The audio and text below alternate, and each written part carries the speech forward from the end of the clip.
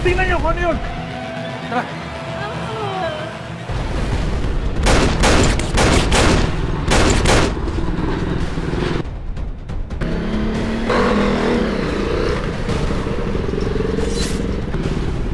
Pero Nay Alma, hindi pa po pumunta na si Black Rider para iligtas po si Ate Neneng?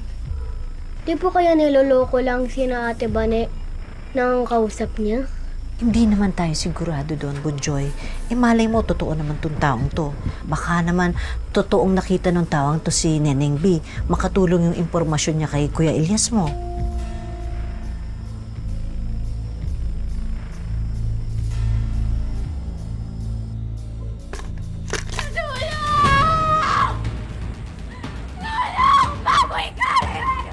Teka lang!